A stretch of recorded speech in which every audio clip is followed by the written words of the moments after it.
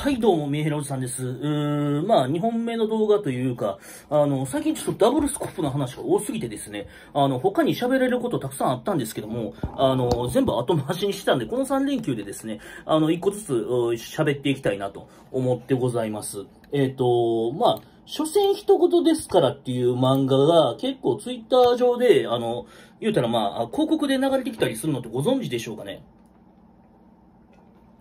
私もね、全部を読んでるわけじゃなくて、その、なんだろうね、えっ、ー、と、まあ、要、要はネット中傷の書き込みをされてる、えー、被害者の女の人が、あの、言うたら、ね、訴えるっていう風に決めて、で、その、開示請求をしてですね、えー、実は同じマンションに住むママ友がめちゃくちゃ書いてたということまで突き止めて、で、その後ですね、えー、訴えるんだけれども、そこのママ友さんは、あ言うたら、慰謝料を、まあ、踏み倒そうとするというような話なんですね。で、結論としては、弁護士さんが、あ言うたら動産を確保するということで、えー、まあ言うたら、あ家に、あの、強制執行で踏み込んでですね、その時に、えー、ママ友の旦那さんにバレて、旦那さんが現金を用意して、えー、まあ言うたら、あそこの、訴訟自体は終わるんですけども、その誹謗中傷していた嫁さんに対して、もう出てってくれと。あこんなことするなんておかしいやんっていうことを言って、で、まあ、あ最終的にはまあちょっと仲直りというか、ちゃんと謝罪に来て、話が終わるというのがまあ、大きな流れ、として16話分かなあの、なんだろうね、本としてはわかんないですけども、いや、一応ネットコミックで、あの、読んでたらそれぐらいで、まあ、大きく1、1話が終わるというような感じなんです。で、まあ、その漫画通りのことがですね、あの、最近西武ライオンズで起こりましたということなんですね。で、事件としては、文春オンラインなんですけども、まあ、西武の、えー、源田と、源田選手かなえー、内野手29歳の妻で、あの、乃木坂にいた江藤ちゃんですね。えっ、ー、と、江藤さんってちょっと、あれですよね、ちょっと年上のお姉さん的なキャラだったと思うんですけども、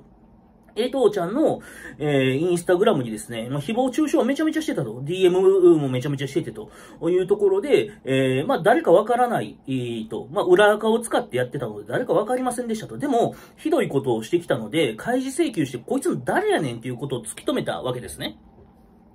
突き止めた結果、同じ西武ライオンズの山田投手、山田選手かな？の、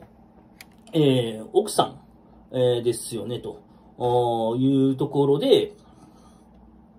えー、そうですね。内野手の山田遥選手の奥さんが、あ実は書き込んでたと。で、その奥さんなんかタレントをちょっとやってたみたいなんですよ。なので、まあ、ひがみとか、えー、まあ、あったのかもなとは思うんですけど、それについて広報部はまあ回答しませんということだったということなんですね。で、えっ、ー、と、まあ、誹謗中傷あったことは認めたというところなんです。けど、それ以上はちょっとプライベートなんで、えプライバシーなんで言えないですと。いうところなんですと。いうところなんですけども、まあ、やってることむちゃくちゃですよねというところだと思います。いや、えっ、ー、と、その、うん、山田選手の嫁さんが、えー、何かをされたというようなことがあって、仕返しにやっているのか、ひがみでやっているのか、よくわからないけれども、少なくとも、その、インスタに悪質な書き込みをするっていうのは、違法法行為だ。まあ、どうなんでしょうね。あの、まあ、違法行為だということで、えー、まあこれからどうなるかはわからないけども、少なくとも、えー、その、嫁さん同士の仲は最悪ですし、旦那さん同士もちょっと微妙な関係になるよねというところで、あまあコメント上ではやっぱりその同じ選手間の、まあ選手間やったらその奥さん同士のつながりとかもあるから、あのー、なんですか、選手の妻同士での飲み会とか、あ飲み会じゃないか、ママ友会みたいなのあったりする中では、まあ関係最悪ですよね。えー、で、えー、まあ言ったら野球選手ってその人気商売やったりするので、まあ、著しく、えー、まあ、なんですかね、傷つけられた方もそうですし、傷つけてた方も、あの、そういう加害者の旦那だということでですね、言われるわけですから、あの、心象は全然良くないですよね、とあいうところなんですね。で、まあ、特に人気商売ですから、あんまりこういうのは良くないと。で、まあ、やった本人はどうなのかっていうところは、まあ、ある、あると言いますか、あの、やった本人としては、それは、あの、まあ、訴訟を受けたわけですから、それに対して名誉毀損で、えー、おそらく訴えられて、えー、お金を払うということになるんでしょうけども、それだけで済む話じゃないですよねっていうようなことが、あまあ、言ったら事件の概要でございますと。っていうのが9月21日の電子版って、おお、昨日やんけ。えー、っていうような話なんですけども、ま本当に漫画のような世界がですね、えー、起こっているというようなところでございます。で、まあ、これをおじさんに置き換えると、あの、おじさんもね、会社名のロゴを使って、あのー、なんだろうね、嫌がらせみたいなことは結構されてるんですよ。もうこの後もちょっと晒そうと思ってるんですけども、あの、晒しきれてなかった部分をね。なんですけども、さ、あの、言うたら匿名でね、まあ、いろいろ、言うたらお前の人生終わらしてやるとか、なんかこう、勤務時間がどうのこうのみたいなこと、なんかまあ、いろいろ書かれてたんですよ。えっ、ー、と、まあ言うたら、あ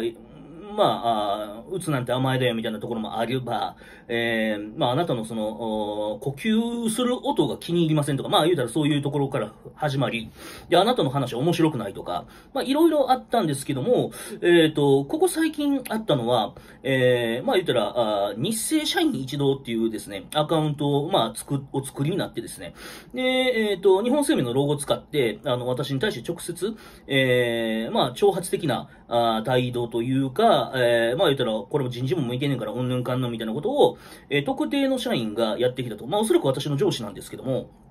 で、えー、まあ、それに対しての開示請求を一応弁護士にも相談したんですけども、まあ、費用が高いことと、なかなかこれ一本で、えー、まあ、なんですかね、もうすぐアカウント消して逃げはったんですよ。スクショは取ってたんですけども。で、それを会社に言った日ぐらい、えー、あるいは私がもう、あの、開示請求の、えー、話をすると言った時点でですね、あの、言うたらまあ、アカウント名変えて逃げはったんですよね。えー、アカウント消して。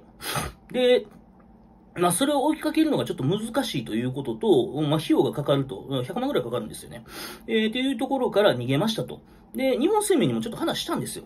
えー、そしたら、まあ、その問題自体は由々しき問題なんだけども、犯人探しはしない、丸で話が終わってるんですね。えー、まあ、舐めた態度なんですけども、あのー、そういうようなことをしてくるというようなところで、まあ、おじさん的にはまあ全然、あのー、もやもや消えてないですし、えー、まあ、あの、多分私が弱小 YouTuber だから、あなんか、そういう態度をしたのかなとかっていうふうにも思ってますし、これが10万人、20万人のところで、まあ、そういうことをしてきたらですね、当然ながら、あの、見てる人もめちゃめちゃ多いんで、名誉毀損に当たるので、あの、ゴリゴリ攻めてもですね、多分問題なかったと思うんですけども、私私の存在がちっちゃいからそういう風な舐めた態度したのかなという風に思ってて、まあ、結構怒りに震えてるわけですよね。っていうようなことが、あ言うたらまあ、あ今回のこの、まあ、あ乃木坂の江藤さんの、えー、話でもあったので、まあ、こういうのが、まあ、一般的になってきてんじゃねえのかなっていうところで、まあ、書く内容、まあ、喋る内容は当然そうですけども、書き込む方もそれなりの覚悟を持ってですね、やらんといかんというようなところだと思います。で、まあ、あの、この江藤ちゃんの書いた人はですね、匿名でめちゃくちゃなこと書いてたんですけども、私の場合は、あの、会社名をゴリゴリにさらしてきて、なんかこう、なんていうんですかね、押さえつけようとする圧がすごいですよね。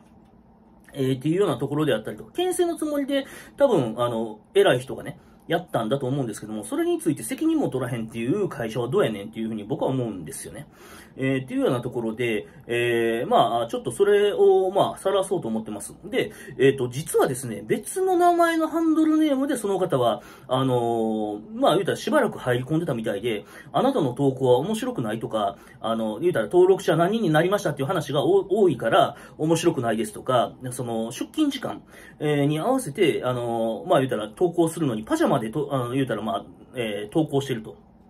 いうのが気に入らんっていう旨の、まあ、発言みたいなものがあったんですね。私が返してなかったんですけども、しょうもなさすぎて。なので、えー、まあ、それをちょっと上げた上でですね、私のまあ、体調とかも含めて、あのー、いろいろちょっとまあ、コミュニティの方には書き込もうとは思ってますけども、まあ、少なくとも、人生うまいこと言ってないっていうのはわかるんです、その方が。あの、まあ、そこそこ給料も良くてですね、えー、多分幸せ、旗から見たら幸せなのかもしれないけども、多分自分が、あなんだろうね、満たされてないからこそそういうことをするわけですよね。で、えっ、ー、と、まあ、端的に言うと、まあ、自分にはその YouTube 上げる力もないと。で、えー、自己実現させるための力もないから、あまあそんな中でですね、病み上がりの私がいろいろ発信してて、ちょっとムカついてるんだと思うんですよ。あの、言うたらもう死人は死人としてね、あの、まあ、下を這いずり回って生きればいいやんっていうふうに思ってはるんだと思うんですよ。障害者を下に見ていると。なのに、えー、私が、あまあ、仕事はそっちのけで生き生きしてると。まあ、仕事、そっちのけって言っても、まあ、あ、の、抗うつ剤重症も飲んでるんで、起き上がれない時は起き上がれないんですけど、それでも、あの、YouTube ピエット撮ってパッと上げれるんでね。でそれをやりながら、あの、周りの方がですね、まあ、いろいろ反応してくれはって、で、それなりに楽しそうにやってるのが許せないんですよね。で、えー、まあ、だからこそいろいろ絡んでくるんでしょうけれども、で、それを面と向かって言えばまだましなのに、こうやってネットのその自分で捨て垢みたいなのを作ってですね、やってしまわないと、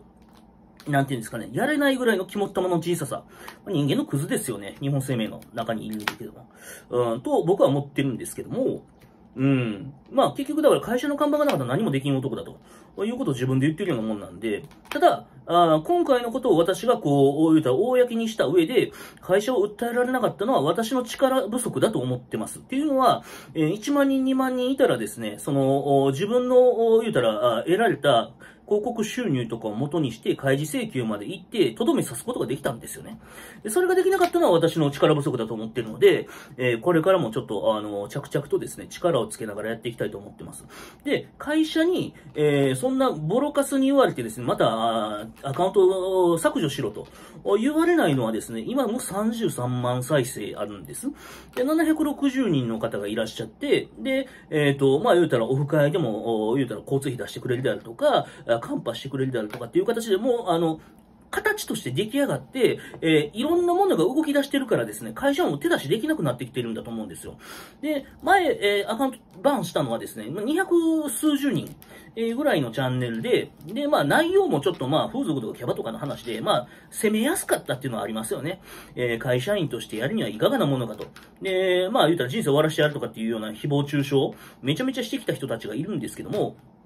そういう形でですね、会社にクレーム入れるとかっていうひどいことをしてきたんで、まあそれはちょっと私も耐えきれなかったなというところなんですけども、今のチャンネルの状況、1000本以上の動画を上げてる今の現状でですね、あの、そういうことされても、私はもう言うたら、懲戒解雇されるまではですね、あの、言うたら動画上げ続けますし、えー、そういう、言うたらまあ卑劣なことをしてくる人にはですね、あの、断固とした対応を取ろうと思ってるんで、あの、もう、どんと来いと。で、特にまあ、えっ、ー、と、まあ、だいたい1万人が目処ですかね。あの、大手さんのその YouTube のチャンネル登録者数並みになってこればですね、あの、10万、20万いないんですよね。そういう大手さんでも。あの、数千人単位ぐらいしかいない会社とかもあるんで、銀行とかでも。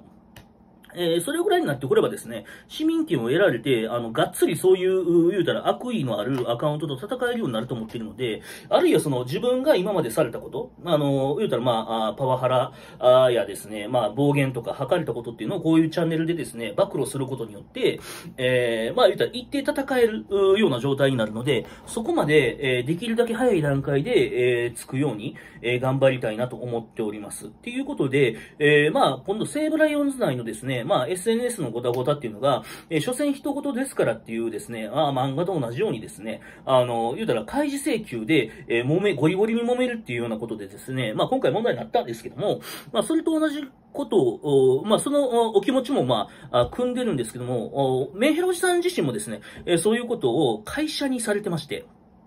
で、えー、まあ、正確には会社の名前を使った上司にされてまして、えー、まあ、それについて、まあ、今後どうしていくかということとか、あいろいろお話したというところでございます。以上です。